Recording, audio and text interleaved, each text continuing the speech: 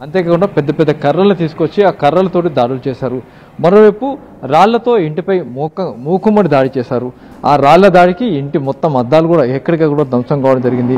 ఇంట్లో కూడా మొత్తంగా ఏ అద్దం అంటే ప్రతి రాళ్ళతో దాడి చేసిన సమయంలో ఇంట్లో ఉన్న అద్దాలు మొత్తం కూడా ధ్వంసం అయిపోయినాయి. మొత్తంగా ఫర్నిచర్ మొత్తం డ్యామేజ్ అయిపోయింది. ఎక్కడికక్కడ బీభత్స వాతావరణం కనబడుతుంది. అంతేకాకుండా ఇంటి మొత్తంలో శకిలాలు మాత్రమే కనబడుతున్నాయి. ఇంట్లో ఎలాంటి వస్తువు కూడా పనికొచ్చే పరిస్థితి లేదు. మరోవైపు చూసినట్లయితే ఇంటిలో దాదాపు పెద్ద పెద్ద రాళ్ళు చూసినట్లయితే పెద్ద పెద్ద సిమెంట్ బ్రిక్స్ తీసుకువచ్చి ఆ సిమెంట్ బ్రిక్స్ ఆధారంగా ఏకంగా దాడులకు తెగబడ్డారు. దీంట్లో చూసినట్లయితే సిమెంట్ బ్రిక్స్ అంటే బయట ఇంటి ఇంటికి దగ్గరలో ఉన్న వాళ్ళు వాళ్ళ వెంటనే సిమెంట్ బ్రిక్స్ తెచ్చుకోవడం జరిగింది. సిమెంట్ బ్రిక్స్తో పాటుగా పారలు పలుగుతో పాటుగా గడ్డపారలు రాళ్ళు ఇలాంటి మొత్తం కూడా తీసుకొని వచ్చేసి ఇటు ఇంటి ఇంటిపైన ఏకకాలంగా దాదాపు అరవై మంది దాడికి పాల్పడ్డారు.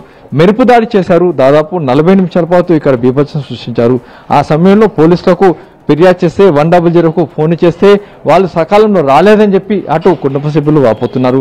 నలభై నిమిషాల తర్వాత నలభై నిమిషాలు బీభత్సం సృష్టిస్తుంటే పోలీసులు ఇక్కడికి రావడం ఆలస్యమైందని చెప్పి అటు కుటుంబ సభ్యులు వాపోతున్నారు.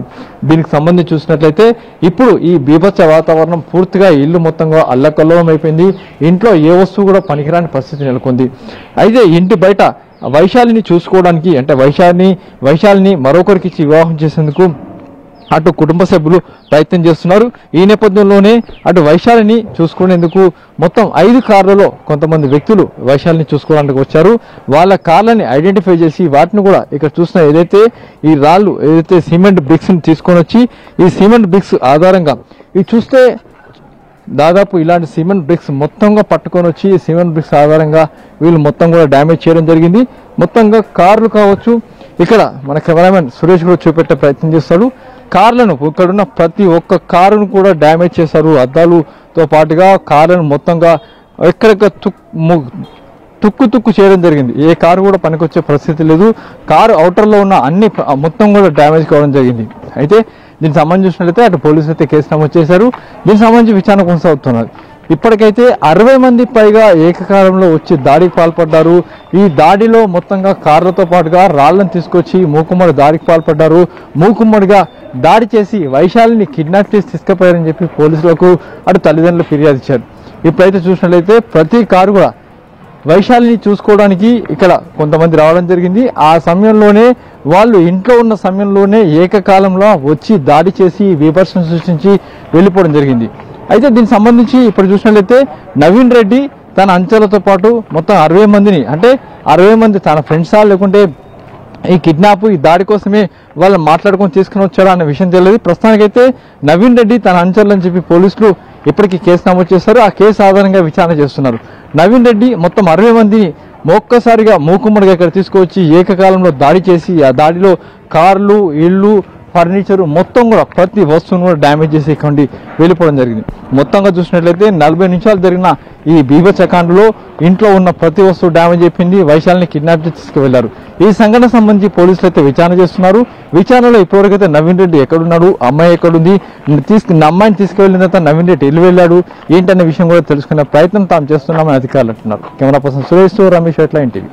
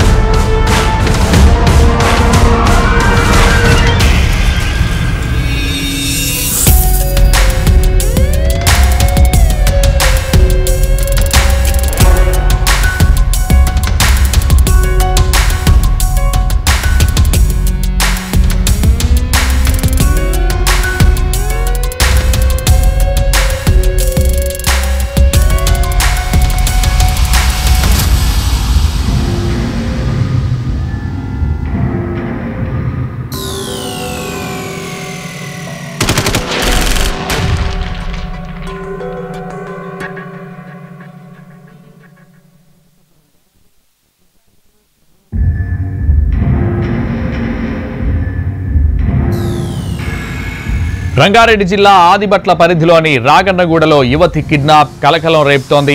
సుమారు వంద మంది రౌడీలతో కలిసి ఇంటిపై దాడి చేసి యువతిని కిడ్నాప్ చేశాడు Mr tea owner Naveen Reddy. దాడిలో యువతి ఇల్లు పూర్తిగా ధ్వంసమైంది. తల్లిదండ్రులకు పక్కింటి వ్యక్తులకు తీవ్ర గాయాలయ్యాయి. ఘటనా స్థలాన్ని పరిశీలించిన ఇబ్రహీంపట్నం ఏసీపీ ఉమామహేశ్వరరావు కిడ్నాపర్లను పట్టుకునేందుకు ప్రత్యేక బృందాలతో గాలిస్తున్నారు.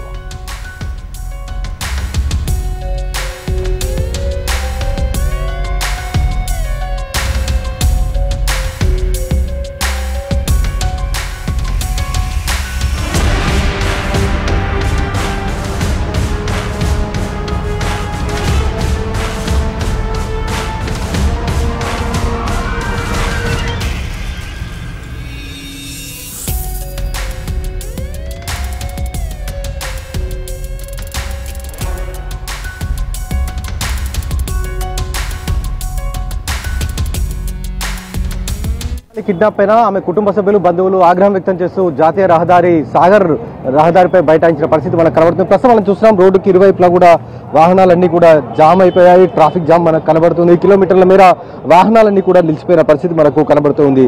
కొద్దిసేపటి క్రితమే వాళ్ళు ఒక్కసారిగా తన వైశాలికి సంబంధించిన జాడ కనిపించకపోవడం దాదాపు కిడ్నాప్ జరిగి పది నుంచి పన్నెండు గంటలు కావస్తుంది. ఆయన కానీ ఇప్పటివరకు ఆమెకు సంబంధించిన సమాచారం లేకపోవడంతో ఇప్పటివరకు కూడా పోలీసులు ఆమె అసలు బతికి ఉందా లేదా ఆమెపై ఏదైనా అఘాయిత్యానికి పాల్పడ్డారా అన్న దానికి సంబంధించిన సమాచారం ఇంకా పోలీసులు చేపట్టకపోవడం ఇప్పటికీ కూడా పోలీసులు వాళ్ళ నుంచి ఎలాంటి నిందితుడు ఎవరైతే కిడ్నాప్ పాల్పడ్డాడో అతను ఇప్పటి వరకు కూడా జాడ కనిపెట్టకపోవడం పైన వాళ్ళు ఆగ్రహం వ్యక్తం చేస్తూ వాళ్ళంతా కూడా రోడ్డు మీదకి రావడం జరిగింది. ప్రస్తుతం మనం చూస్తున్నాం విజువల్స్లో వాళ్ళంతా కూడా రోడ్డు మీదకి వచ్చిన తర్వాత ట్రాఫిక్ జామ్ అయిన దుస్థితిని మనం చూడొచ్చు.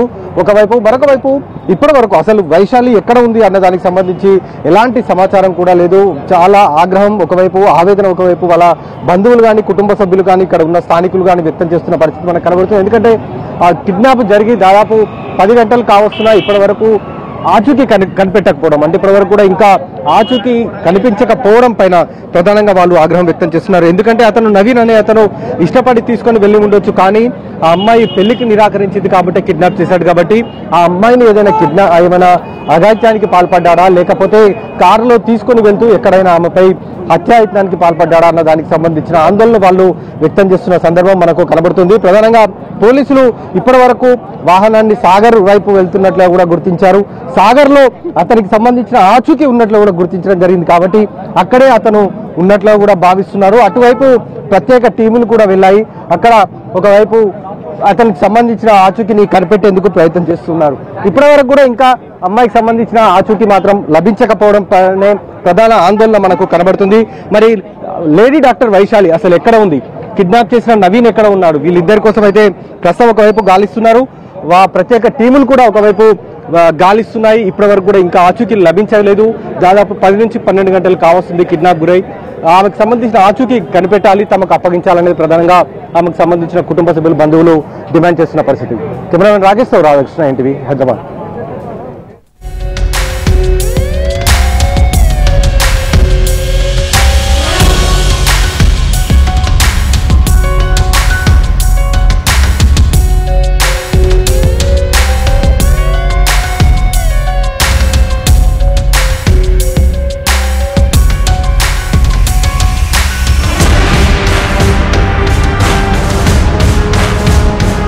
అమ్మాయి ఇంట్లో వాళ్ళపై అమానుషంగా దాడి చేసి అమ్మాయిని ఎత్తుకెళ్ళారు కిడ్నాపర్లు. తుర్కయాంజల్ మున్సిపాలిటీ మన్నెగూడలోని సిరి టౌన్షిప్లో ఈ ఘటన జరిగింది. ముచ్చర్ల దామోదర్ రెడ్డి నిర్మల కూతురు వైశాలి డెంటల్ డాక్టర్గా పనిచేస్తున్నారు. అమ్మాయి ఇంటిపై వంద మందికి పైగా యువతులతో యువకులతో వచ్చాడు నవీన్ రెడ్డి. ఇంట్లోని సీసీ కెమెరాలు సామాగ్రి పూర్తిగా ధ్వంసం చేశారు. అమ్మాయి తల్లిదండ్రులు దామోదర్ రెడ్డి నిర్మలతో పాటు బంధువులపైన దాడి చేశారు. గతంలో నవీన్ రెడ్డిపై ఆదిబట్ల పోలీస్ స్టేషన్లో ఫిర్యాదు చేశారు అమ్మాయి కుటుంబ సభ్యులు. దాడి సమయంలో హండ్రెడ్కి కాల్ చేసినా ఎవరూ స్పందించలేదని చెప్తున్నారు. కిడ్నాప్కు ఆదిబట్ల సీఐ నరేంద్ర నిర్లక్ష్యమే కారణమని ఆరోపిస్తున్నారు వైశాలి పేరెంట్స్.